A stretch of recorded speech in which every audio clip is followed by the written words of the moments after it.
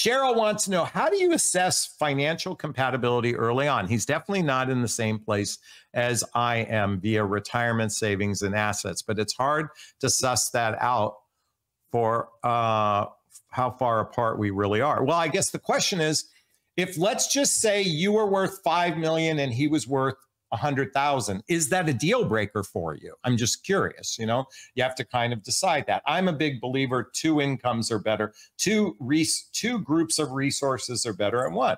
So if his net worth is substantially less to you, is that a deal breaker? Is if that's going to be a deal breaker, then before the penis ever goes inside the vagina, listen, folks. I talk about this book frequently, Eight Dates by Doctors John and Julie Gottman, chapter four.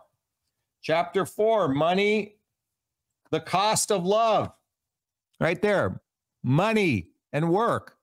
Ask him how much he's worth. But Jonathon, that's so rude. Well, if his penis is getting any nearer your vagina, you're entitled to ask whatever questions you want.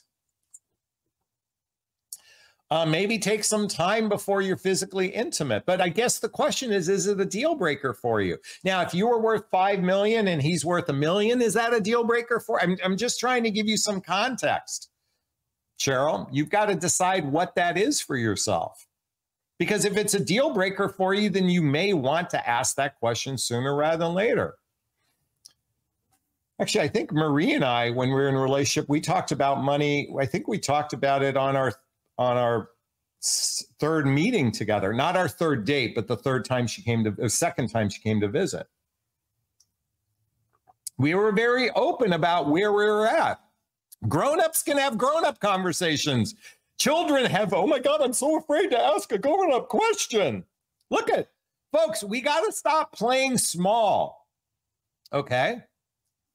Is it okay? And by the way, read the chapter in the book so you can learn how to have this conversation. That's what I would do. I hope that helps, Cheryl.